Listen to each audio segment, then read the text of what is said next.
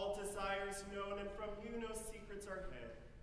Cleanse the thoughts of our hearts by the inspiration of your Holy Spirit, that we may perfectly love you and worthily magnify your holy name through Christ our Lord. The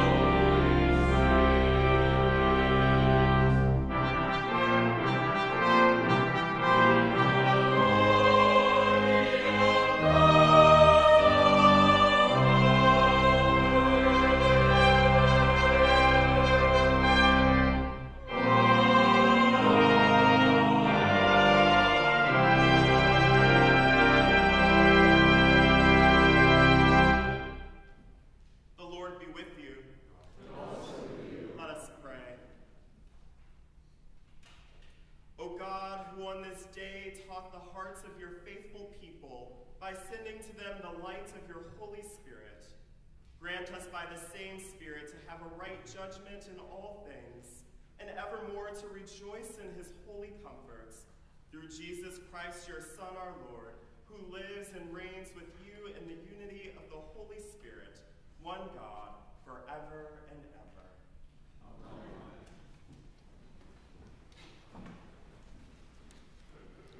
A reading from the book of Acts. When the day of Pentecost had come, they were all together in one place. And suddenly from heaven there came a sound like the rush of a violent wind, and it filled the entire house where they were sitting. Divided tongues as of fire appeared among them, and a tongue rested on each of them. All of them were filled with the Holy Spirit and began to speak in other languages, as the Spirit gave them ability. Now there were devout Jews from every nation under heaven living in Jerusalem. And at this sound the crowd gathered and was bewildered, because each one heard them speaking in the native language of each. Amazed and astonished, they asked, Are not all these who are speaking Galileans? And how is it that we hear, each of us, in our own native language? Parthians, Medes, Elamites, and residents of Mesopotamia, Judea and Cappadocia, Pontus and Asia, Phrygia and Pamphylia, Egypt and the parts of Libya belonging to Cyrene, and visitors from Rome, both Jews and proselytes, Cretans and Arabs. In our own languages, we hear them speaking about God's deeds of power. All were amazed and perplexed, saying to one another, What does this mean? But others sneered and said, They are filled with new wine. But Peter, standing with the eleven, raised his voice and addressed them Men of Judea and all who live in Jerusalem, let this be known to you, and listen to what I say. Indeed, these are not drunk as you suppose, for it is only nine o'clock in the morning. No, this is what was spoken through the prophet Joel. In the last days it will be, God declares, that I will pour out my spirit upon all flesh, and your sons and your daughters shall prophesy, and your young men shall see visions, and your old men shall dream dreams. Even upon my slaves, both men and women, in those days I will pour out my spirit, and they shall prophesy. And I will show portents in the heaven above, and signs on the earth below blood and fire and smoky mist. The sun shall be turned to darkness, and the moon to blood, before the coming of the Lord's great and glorious day. Then everyone who calls on the name of the Lord shall be saved. The word of the Lord.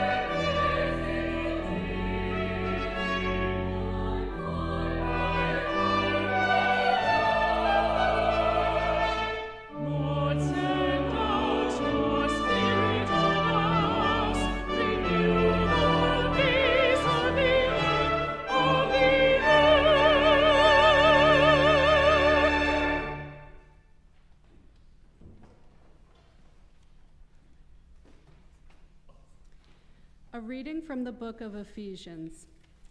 All who are led by the Spirit of God are children of God. For you did not receive a spirit of slavery to fall back into fear, but you have received a spirit of adoption. When we cry, Abba, Father, it is that very spirit bearing witness with our spirit that we are children of God. And if children, then heirs, heirs of God and joint heirs with Christ if in fact we suffer with him, so that we may also be glorified with him.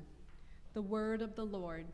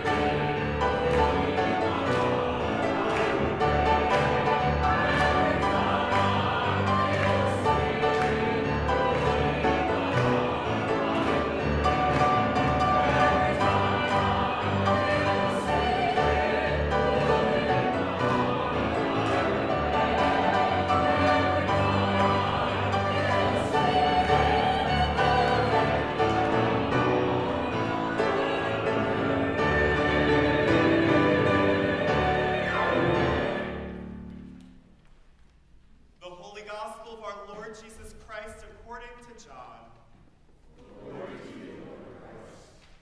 Philip said to Jesus, Lord, show us the Father, and we will be satisfied.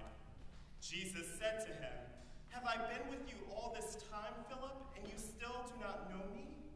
Whoever has seen me has seen the Father. How can you say, Show us the Father? Do you not believe that I am in the Father, and the Father's in me? The words that I say to you, I do not speak on my own, but the Father who dwells in me does his works. Believe me that I am in the Father, and the Father is in me. But if you do not, then believe me because of the works themselves. Very truly I tell you, the one who believes in me will also do the works that I do, and in fact will do greater works than these, because I am going to the Father. I will do whatever you ask in my name so that the Father may be glorified in the Son. If in my name you ask me for anything, I will do it. If you love me, you will keep my commandments. And I will ask the Father, and he will give you another advocate to be with you forever. This is the Spirit of truth, whom the world cannot receive, because it neither sees him nor knows him. You know him, because he abides with gospel of the Lord.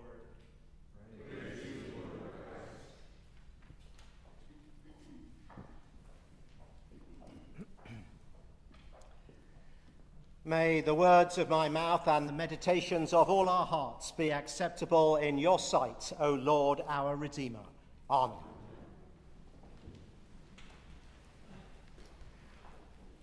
Early one morning last month, I was walking our dog, Esme, around the neighbourhood, which I do most mornings. It's a blissful time. We have our usual route that extends for two miles, and it gives me time to listen to prayer podcasts, one of the better inventions birthed by the digital revolution. So it's half an hour of Esme, me, and God.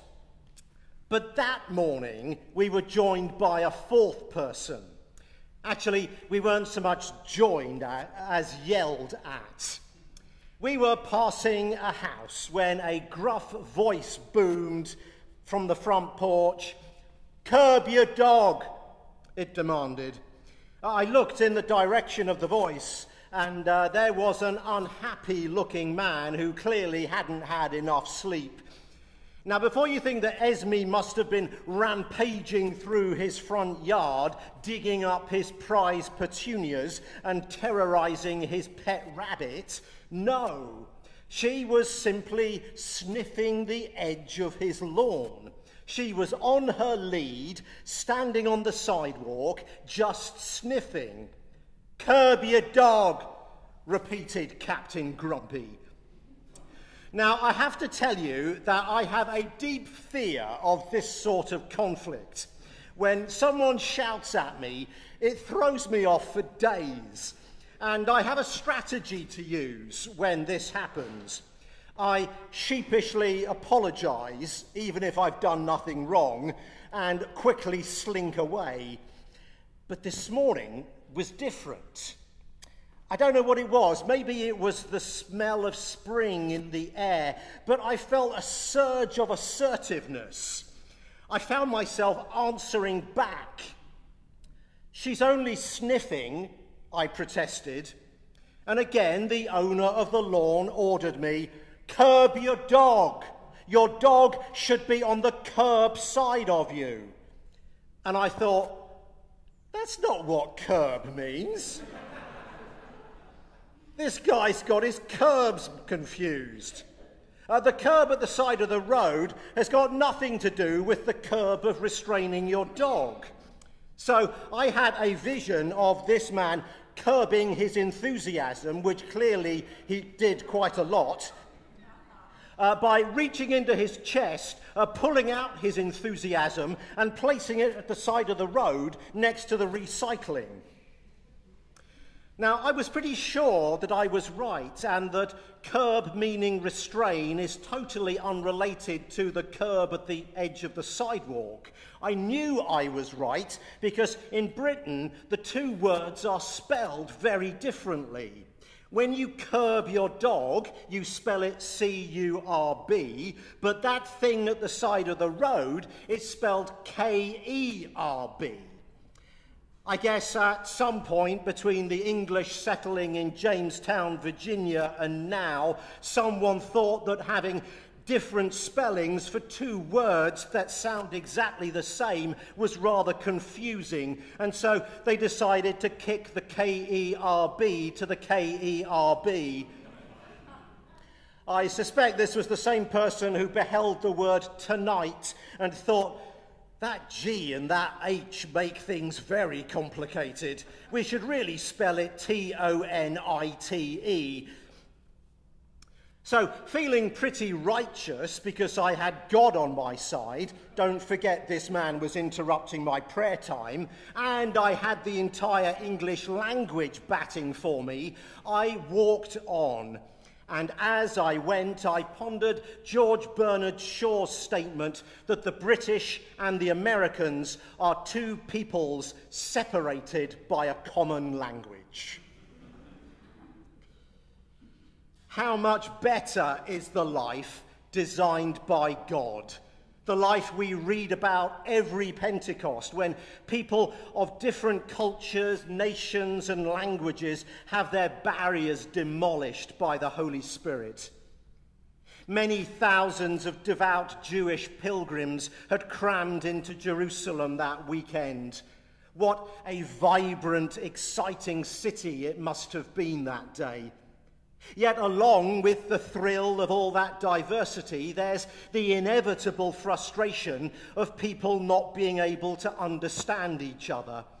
But unlike my encounter with the man and his lawn, here are not two people separated by a common language, but dozens of people, whole ethnic groups, joined together by the work of God, the drenching of the Holy Spirit. There is understanding, there is unity along with their diversity. Jesus promised it in the gospel lesson.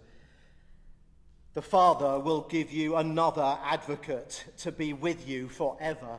This is the Spirit of truth, whom the world cannot receive because it neither sees him nor knows him. You know him because he abides with you and he will be in you. That word translated advocate is very flexible. Other versions of the Bible translate it comforter, helper, counselor, companion, friend. Not just to be with us, but to be inside us. When I studied French and German at high school, there was an object I longed for. I craved it. I would have breezed through assignments and exams. It would have made me look so smart. It was the Babel fish. The Babel fish is the creation of Douglas Adams, the author of The Hitchhiker's Guide to the Galaxy. It is a small, yellow, leech like fish that processes human brainwaves. And if you stick one in your ear, you can instantly understand anything said to you in any language.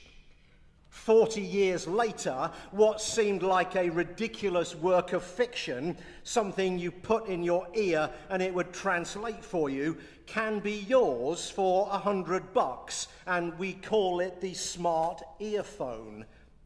So this morning, I want to add a new translation of the word for advocate in our Bible version comforter, helper, counselor, companion, friend, and now Babel fish.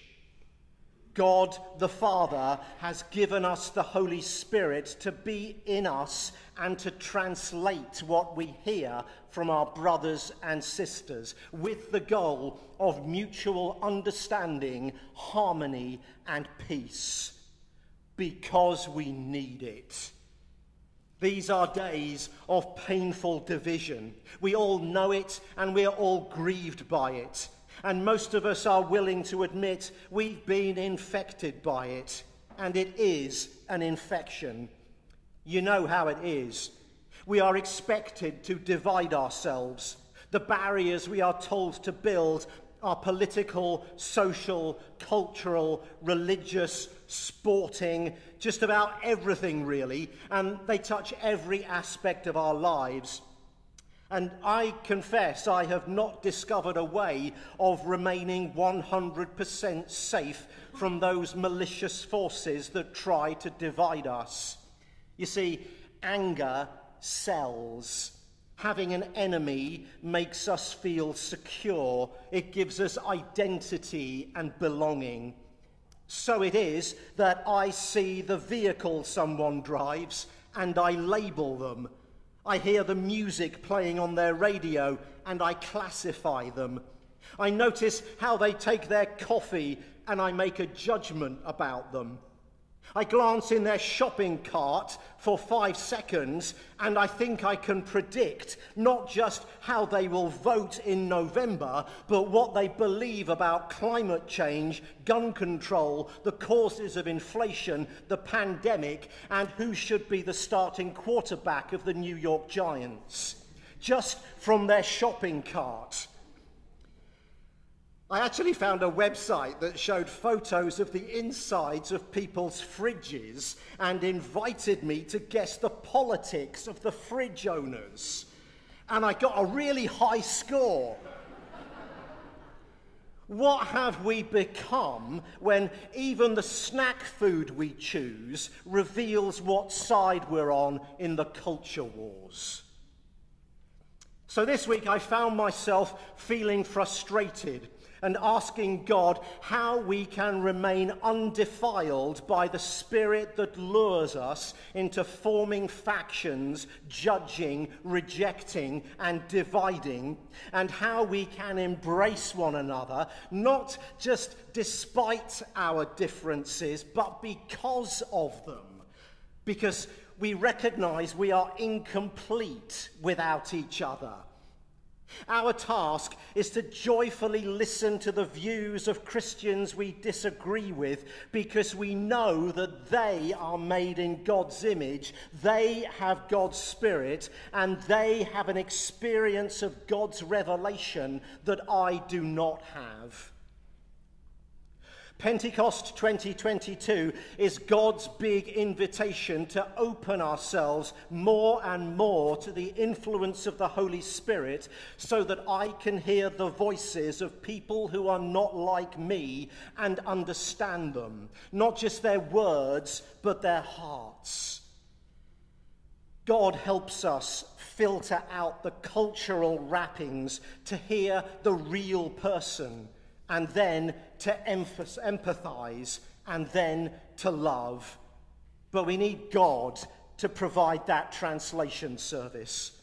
Without it, the person I disagree with sounds like my enemy. She sounds like someone who wants to do evil things he sounds like a person who wishes me ill. They sound like folk who want to take away my rights or my beliefs or my lifestyle. Let us ask for God's Spirit this Pentecost day to lavish us with this supernatural gift of listening to the other and truly hearing.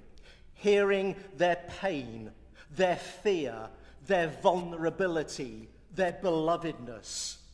It may sound like gibberish in my ears. It may seem like nonsense. It may seem dangerous. It may provoke fear within me.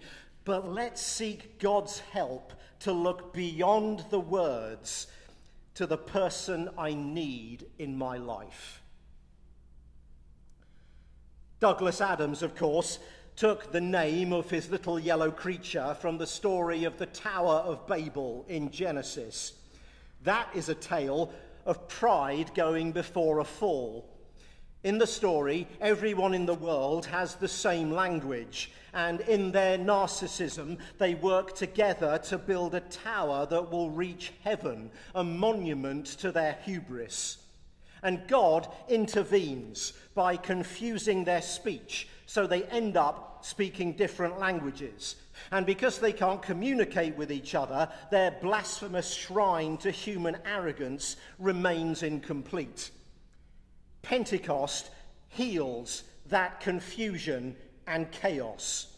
What appears to be a bewildering event, people speaking languages they have not learned, so bewildering that onlookers think they're drunk, is actually a moment of healing, the resolution of a deep and festering wound sustained thousands of years earlier.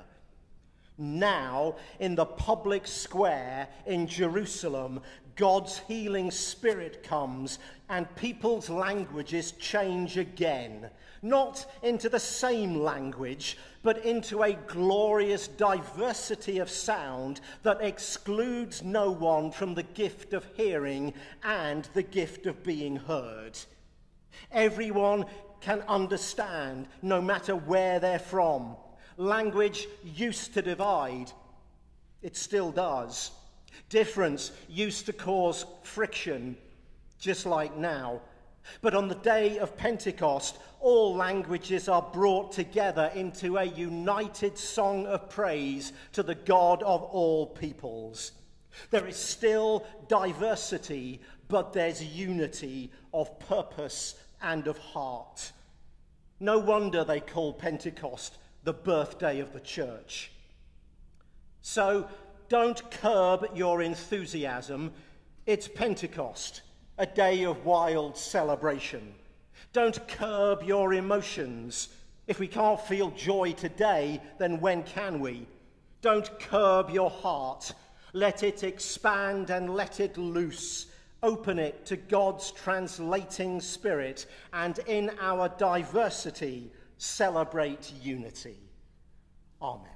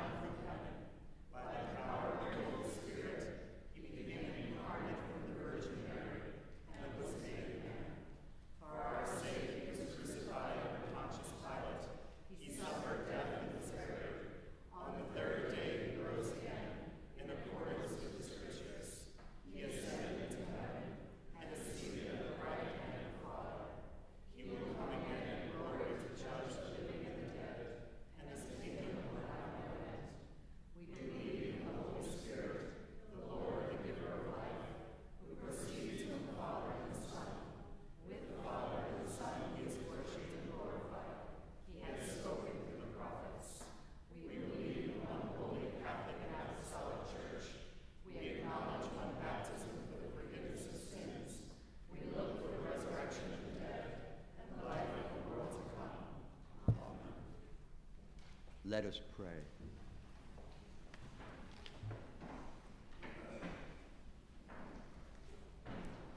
I ask your prayers for God's people throughout the world, for our bishopship, for this gathering, and for all ministers and people. Pray for the church. I ask your prayers for peace, for goodwill among nations, and for the well being of all people especially the people of Ukraine. Pray for justice and peace. I ask your prayers for the poor, the sick, the hungry, the oppressed, and those in prison. Pray for those in any need or trouble. Today we pray especially for Adler, Alice, Amy, Andreas, Andrew, Andy, Angelo, Ann, Beverly, Carol, Charlotte, Chris, Cynthia, Dick, Emma, George, Glenn, Greg, Heather. We pray for Kathy, Kristen, Christy, Kisa, Lisa, Marie, Marjorie, Mary Merle, Nancy, Nathaniel, Nicole, Olivia, Pam, Phil, Quentin, Rob, Robin, Samantha, Shelley, Stephen, Steve, Susan, Vinny, and Wendy. Are there others? I ask your prayers for all who seek God or a deeper knowledge of Him. Pray that they may find and be found by Him. I ask your prayers for the departed. Pray for those who have died. We remember today especially Francis E. Frowery and James H. Hutchinson, in whose memories the flowers have been given. Praise God for those in every generation in whom Christ has been honored. Pray that we may have grace to glorify Christ in our own day. Almighty God, by your Holy Spirit, you have made us one with your saints in heaven and on earth. Grant that in our earthly pilgrimage we may always be supported by this fellowship of love and prayer, and know ourselves to be surrounded by their witness to your power and mercy. We ask this for the sake of Jesus Christ, in whom all our intercessions are acceptable through the Spirit, and who lives and reigns forever and ever. Amen. Let us confess our sins against God and our neighbor. Most merciful God, we confess that we have sinned against you in thought, word, and deed, by what we have done and by what we have left undone. We have not loved you with our whole heart. We have not loved our neighbors as ourselves. We are truly sorry and we humbly repent. For the sake of your Son, Jesus Christ, have mercy on us and forgive us, that we may delight your will and walk in your ways to the glory of your name. Amen. Almighty God, have mercy on you. Forgive you all your sins through our Lord Jesus Christ. Strengthen you in all goodness. And by the power of the Holy Spirit, keep you in eternal life.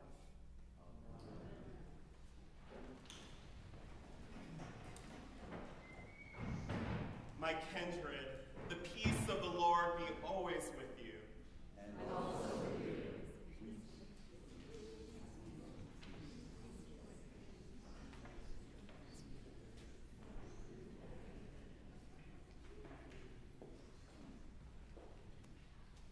Would you please be seated?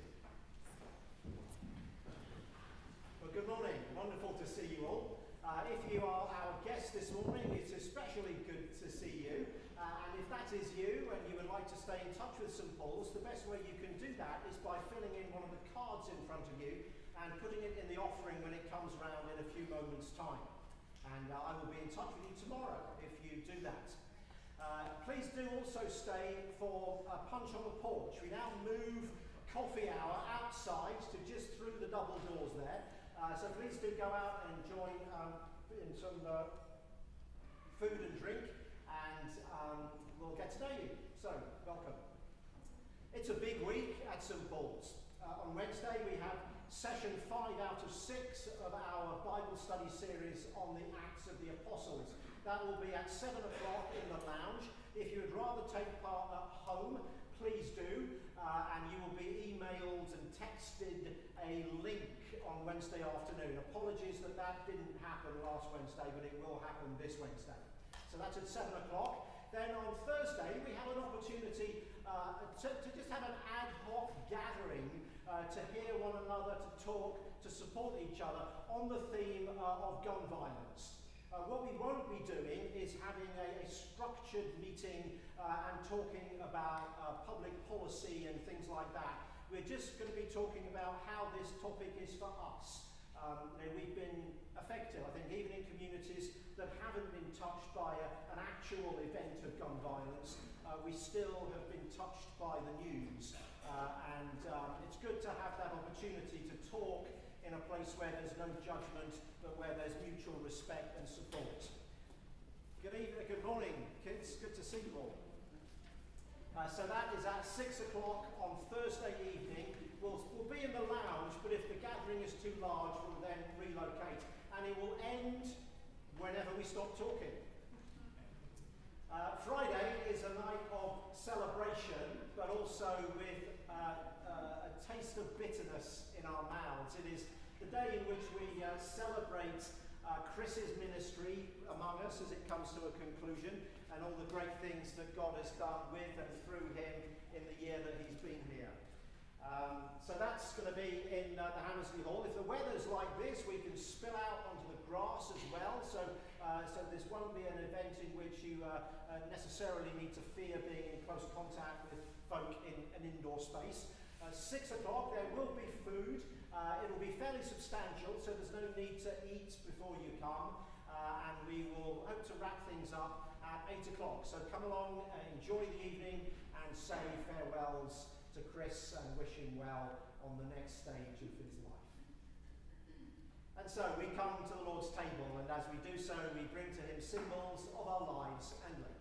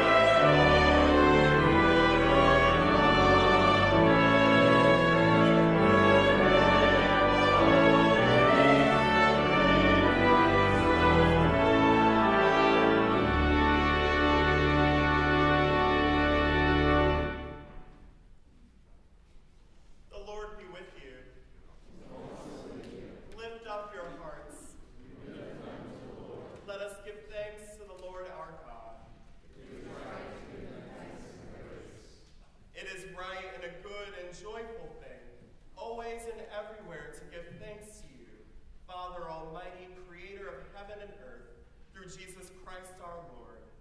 In fulfillment of his promise, the Holy Spirit came down from heaven, lighting upon the disciples to lead them into all truth, uniting peoples of many tongues in confession of one faith, and giving to your church the power to preach the gospel to all nations. Therefore we praise you, joining our voices with angels and archangels, and with all the company of heaven, who forever sing this hymn to proclaim the glory of your name.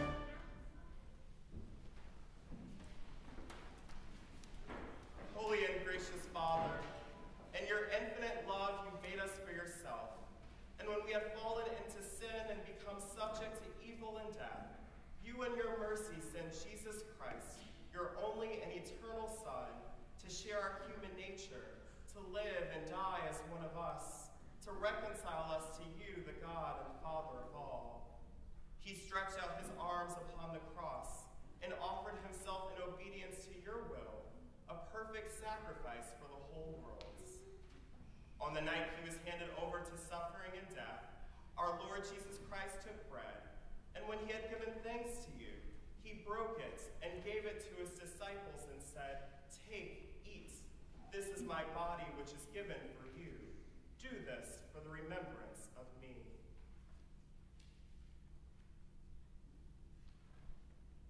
After supper, he took the cup of wine, and when he had given thanks, he gave it to them and said, Drink this, all of you.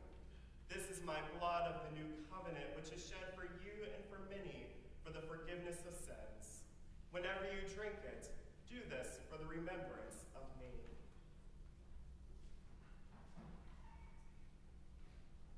Therefore, we proclaim the mystery of faith.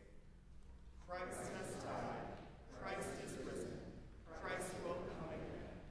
We celebrate the memorial of our redemption, O Father, and the sacrifice of praise and thanksgiving recalling his death, resurrection, and ascension, we offer you these gifts. Sanctify them by your Holy Spirit, to be for your people the body and blood of your Son, the holy food and drink of new and unending life in him. Sanctify us also, that we may faithfully receive this holy sacrament and serve you in unity, constancy, and peace. And at the last day, bring us with all your saints into the joy of your eternal kingdom all this we ask through your Son, Jesus Christ, by him and with him and in him, in the unity of the Holy Spirit, all honor and glory is yours, Almighty Father, now and forever. And now, as our Savior Christ has taught us, we are bold to say, Our Father, who art in heaven, hallowed be thy name. Thy kingdom come, thy will be done, on earth as it is in heaven. Give us this day our daily bread, and forgive us our trespasses, as we forgive those who trespass against us. And lead us not into temptation, but deliver us from evil. For thine is the kingdom, the power, and the glory, forever and ever. Amen.